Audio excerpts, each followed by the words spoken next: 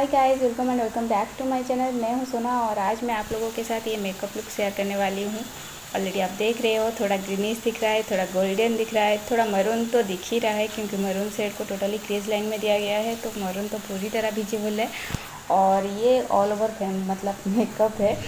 और आज मेरा लैपटॉप ख़राब हो गया है, कल से ख़राब हो गया, इसलिए मैं अपडेट नहीं दे पाई कल। और आज मैं कोशिश करूँगी मोबाइल में देने के लिए पर हालाँकि मेरा पहला एडिटिंग है मोबाइल में मुझे उतना आती नहीं है मोबाइल में एडिटिंग करना।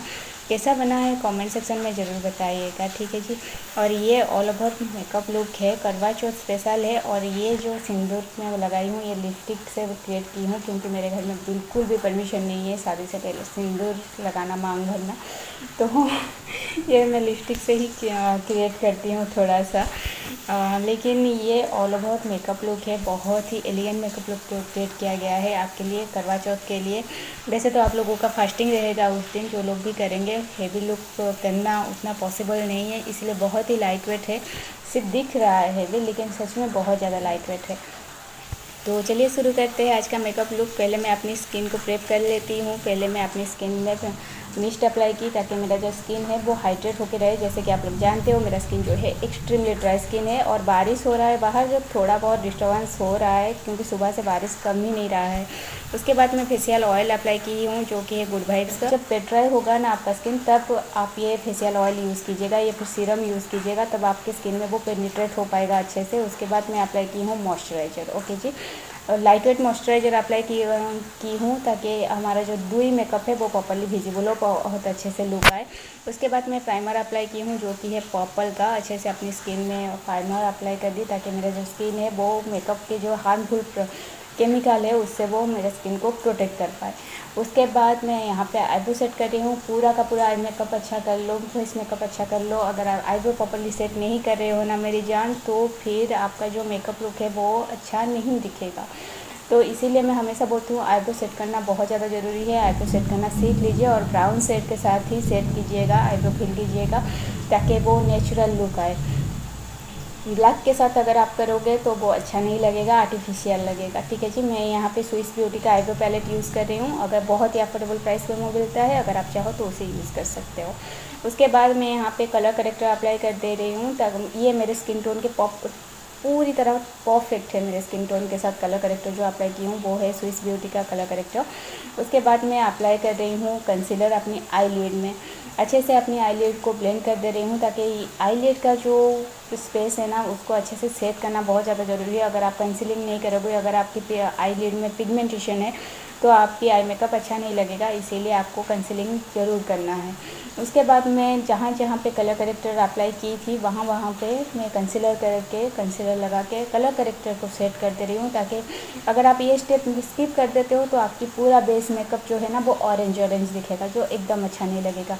यहाँ पर मैं थोड़ा सा हाईलाइटर मिक्स कर रही हूँ फाउंडेशन के साथ, ताकि मुझे डूई मेकअप लुक मुझे मिल जाए और उसको अच्छे से ब्लेंड करना बहुत ज़्यादा ज़रूरी है। लास्ट मेकअप ट्यूटोरियल में भी मैं वही बोली थी कि आप अच्छे से ब्लेंड करो, अच्छे से ब्लेंड करना बहुत ज़्यादा ज़रूरी है और आपका जो फाउंडेशन होगा ना, वो थोड़ा सा रनी कंसिस्टेंसी में होना चाहिए। मैट के बिल्कुल भी नहीं होना चाहिए। अगर आप डूई मेकअप लुक क्रिएट करते हो तो अगर आप मैट का जो फाउंडेशन है वो अप्लाई करते हो तो आपका डुई मेकअप प्रॉपरली नहीं आएगा। रनी कंसिस्टेंसी में होगा। उसके लिए ना एस क्यू बहुत अच्छा है, या फिर डेवराहा मिलानो का फाउंडेशन भी आप अप्लाई कर सकते हो, बहुत ही अच्छा रहेगा। ठीक है जी?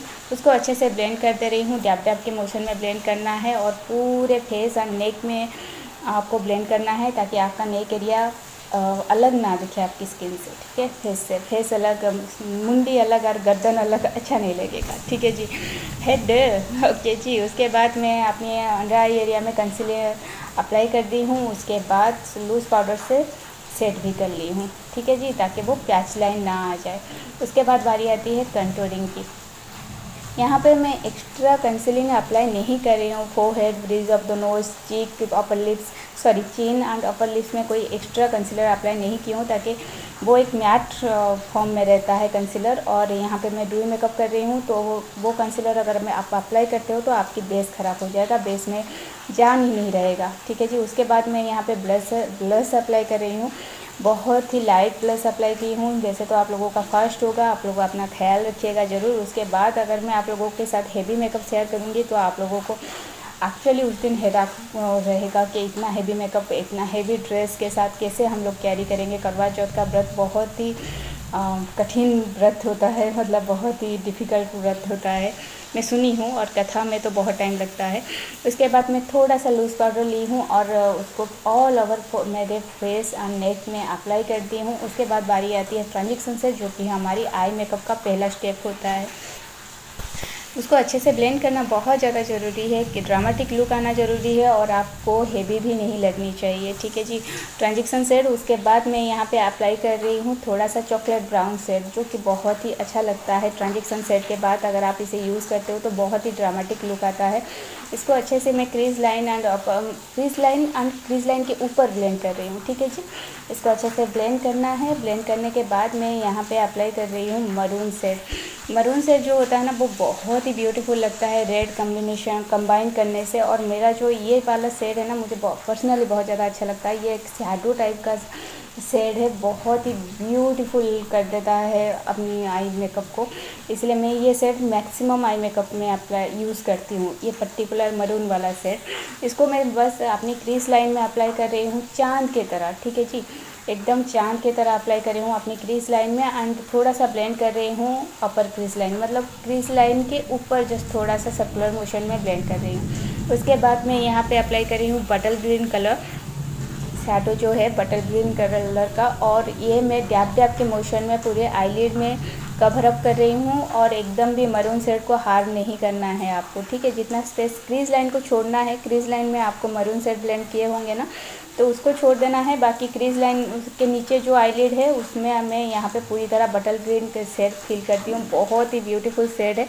हालाँकि मैं ये सेट पहली बार यूज़ कर रही हूँ। उसके बाद मैं थोड़ा सा गोल्डन सिमरी सेट अप्लाई कर रही हूँ अपनी आईलिड में, अपनी फिंगर टिप्स के हेल्प से।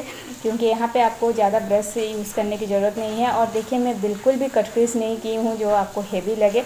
उसके बाद मैं थोड़ा सा हार्स लाइन को इन्विजिबल कर रही हूँ। हमेशा बोली हूँ हार्स लाइन अगर दिख गया ना मेरी जान तो अच्छा नहीं लगेगा। उसके बाद मैं गोल्डन एंड ट्रांसपेरेंट ग्लिटर को मिक्सअप कर रही हूँ। अपनी आईलिड में पूरी तरह फिक्स करूँगी। वैसे ये जो ग्लिटर है, ये लूज ग्लिटर है सिलर के हेल्प से या फिर अगर आपके पास आई ग्लू है ना, उसके हेल्प से भी आप इसको सेट कर सकते हो। और ये बहुत ही लाइट वेट होता है। ग्लिटर से दिखता है हेवी लेकिन होता नहीं है। अगर आप ग्लिटर के थोड़ा सा भी ग्लिटर अप्लाई करते हो ना तो आपकी जो आई मेकअप है, वो अलग ही लेवल में चला जाएगा। टोटली इसीलिए मेरा जो आई मेकअप है, मैं पहले बात बोली थी, थोड़ा ग्रीनिश लगता है, थोड़ा गोल्डन लगता है और ग्लिटर तो अब मेरा जन्मों जन्मों का साथी है, मैं उसे छोड़ ही नहीं सकती हूँ। आप लोगों को पता ही चल गया होगा, मैं पूरी तरह अपनी आईलेट में ग्लिटर फिक्स करती हूँ, उसके बाद बारी आती है eye eyeliner wing lining create कर रही हूँ। विंग लाइनिंग जो होता है ना, वो बहुत ही ब्यूटीफुल होता है। विंग लाइनिंग क्रिएट करना भी बहुत आसान होता है, बस थोड़ा सा आपको थोड़ा सा ध्यान देना है और थोड़ा सा प्रैक्टिस करोगे ना, हो जाएगा। ठीक है? उसके बाद मैं इनर कलर को भी थोड़ा सा विंग दे रही हूँ और एकदम जो कैटाई लुक आए, वैसे उसी तरह ही मैं क्रिएट कर दी हूँ। उसके बाद लोअर लेस लाइन में काजल लगा के स्मॉज आउट कर दी हूँ। ठीक है जी? वैसे तो ब्लैक जो होता है, वो बहुत ही अच्छा लगता है हमारे जो आई मेकअप को एक विजिबिलिटी देने के लिए। तो मुझे और कोई लाइनर पसंद ही नहीं है। उसके बाद बारी आती है मस्करा मस्करा में अपर लैस लाइन या और लोअर लैस लाइन को अच्छे से मस्करा कर कोट कर दी। अगर आपको फॉल्स लेसेस लगाना अच्छा लगता है तो आप ज़रूर अप्लाई कर लीजिएगा। बहुत अच्छा लगेगा। लेकिन क्या है ना, ये फॉल्स लेसेस अगर आप अप्लाई करते हो तो थोड़ा सा आई मेकअप तो हेवी लगता है। उसके बाद मैं यहाँ पे पूरी इंटायर फेस में हाईलाइटिंग कर रही हूँ। Cheekbone bridge of the nose forehead upper lips chin ये सारे एरियाज़ को आपको अच्छे से हाईलाइटिंग करना है। आई के इनर कर्नर आपको हाईलाइटिंग नहीं करना है। अगर आप इस तरह का विंग करते हो इनर कर्नर में आएगा तो हाईलाइट मत कीजिएगा। अगर नहीं करते हो तो हाईलाइट ज़रूर कर लीजिएगा आई के इनर कर्नर और ब्राउ बोन्स को, ठीक है जी? इसको अच्छे से हाईलाइटिंग करने के बाद बारी आती है मेरी लिपस्टिक की लिप लाइनर अप्लाई ज़रूर करके लिपस्टिक की अप्लाई कीजिएगा ताकि आपका जो लिपस्टिक है वो बहुत ही अच्छे से सेफली रहे। मतलब एकदम नीट एंड क्लीन लगे। ठीक है जी? लिप लाइनर कभी स्किप मत कीजिएगा। उसके बाद मैं यहाँ पे लैक्मी का मैजेंटा मैजिक लिपस्टिक अप्लाई कर रही हूँ। बहुत ही प्यारा सा शेड है। इनर कलर में सेट की हूँ, इसीलिए ब्राउ बोन्स को सिर्फ़ हाईलाइटर कर हाईलाइट करती हूँ। ऑलरेडी आप लोग देख चुके हैं। ये है मेरा फाइनल लुक और सच बोलूँ तो मुझे ये लुक बहुत ज़्यादा अच्छा लगा. आप लोगों को कैसा लगा कमेंट सेक्शन में ज़रूर बताइएगा. कोई भी हेवी शादी में कैरी नहीं की हूँ. बहुत ही सिंपल सा आ, और लाइट ऑरेंज या फिर लेमन ऑरेंज बोल सकते हैं. रेड के साथ कंबाइंड है वो साड़ी तो मैं वो कैरी की हूँ. और ये ऑल ओवर मेकअप लुक है. बहुत ही प्यारा लुक आया है. वैसे तो हम लोग तो बोलेंगे ही बहुत प्यारा लुक आया है. लेकिन व्यूअर्स बोलना चाहिए कि हाँ ये अच्छा मेकअप है या फिर ये हमें पसंद आया, वो तब जाके बात बनती है। लाइक कीजिएगा शेयर कीजिएगा एंड सब्सक्राइब माई चैनल अगर आप लोगों को वीडियो पसंद आ रहा है तो प्लीज़ डू सब्सक्राइब यार। और वैसे भी बहुत मेहनत से आज मैं मोबाइल में एडिट कर रही हूँ, मुझे नहीं पता कैसा लगेगा आप लोगों को। अगर कहीं पे भी गलती हो गया है तो प्लीज़ मुझे माफ़ कर दीजिएगा क्योंकि मुझे मोबाइल में एडिट करना नहीं आती है। और ये क्या होता है हाँ और एक बात है कि हम लोगों को अच्छा लगेगा बोल रही थी ना, हम लोग क्रिएट करते हैं ना, सारे यूट्यूबर्स के बारे में बोल रही हूँ तो हम लोगों को अच्छा ही लगेगा। लेकिन जब तक व्यूअर्स ना बोले कि हाँ ये मेकअप अच्छा है या फिर ये चीज़ अच्छा है, ये वर्क करता है, तब तक कोई भी वैल्यू नहीं है हमारी काम का, हमारे एफर्ट का कोई भी वैल्यू नहीं है। अगर आप लाइक नहीं करोगे कमेंट नहीं करोगे ना सब्सक्राइब नहीं करोगे चैनल ग्रो नहीं होगा तो फिर जो हमारा एफर्ट होता है, वो सब बेकार हो जाएगा। इसलिए प्लीज़ डू सब्सक्राइब ही बेल सो योर लव क्योंकि क्या बोलूँ, आज आज मुझे, मैं खुद कंफर्टेबल नहीं हूँ। मुझे नहीं पता आज क्या होने वाला है इस वीडियो के साथ, कितने लोग देखेंगे, कितने लोग पसंद करेंगे। फिर भी प्लीज़ लाइक कीजिएगा शेयर कीजिएगा and subscribe my channel thank you so much for watching मिलती हूँ नेक्स्ट मेकअप ट्यूटोरियल में. तब तक bye bye take care love you all